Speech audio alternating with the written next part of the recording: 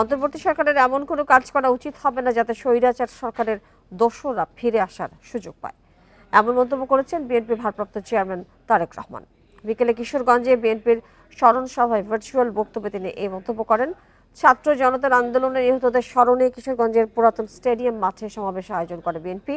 যোগদান আশপাশের এলাকার নেতাকর্মীরাও সেখানে আন্দোলনে নিহতদের পরিবারকে দলের পক্ষ থেকে অর্থ সহায়তা দেওয়া হয়। সমাবেশে লন্ডন থেকে ভার্চুয়ালি যোগ দেন তারেক রহমান বলেন, যে লক্ষ্য নিয়ে ছাত্র জনতা প্রাণ দিয়েছে তা পূরণ করতে হবে। তারেক রহমান বলেন, স্বৈরাচারের পতন হলেও তার দোষরা নানা চক্রান্ত করছে। অন্তর্বর্তী সরকার যেন এমন কিছু না করে, যাতে স্বৈরাচারের দোষরা ষড়যন্ত্রের সুযোগ পায়। বিএনপি ক্ষমতায় গেলে জনগণের প্রত্যাশার বাংলাদেশ গড়ে তুলবে বলেও প্রতিশ্রুতি দেন তারেক রহমান। জনগণের রাজনৈতিক অধিকার প্রতিষ্ঠা, যে কাজ সেটি করতে গিয়ে এমন কোনো পরিস্থিতির উদ্ভব যেন না হয়, যাতে করে অন্য স্বৈরাচার আবার কোনো ষড়যন্ত্র করার সুযোগ পায়।